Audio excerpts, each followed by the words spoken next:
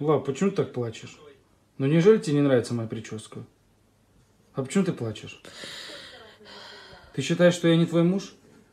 А что, чужой человек зашел в комнату, в квартиру? Ну ты что плачешь-то? Ну это ж волосы, они отрастут. Ребят, мне кажется, очень хорошо. Не знаю, что она так, Сашка, так отреагировала. Саш, Саша.